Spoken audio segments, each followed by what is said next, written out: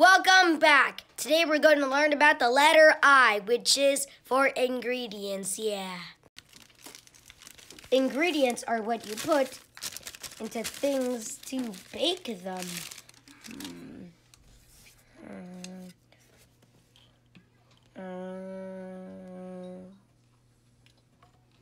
hmm. hmm. Ooh. Mm. Ooh, now my mom is adding some water. And now let's crack the egg. Yeah. Let's watch mom mix as we make the sound of the letter I, which is. I, I, I, I, I, I, I, I,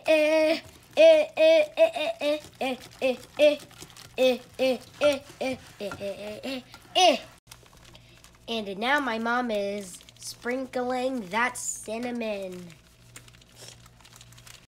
And now my mom is putting the delicious muffins that she is baking in the oven. Mmm,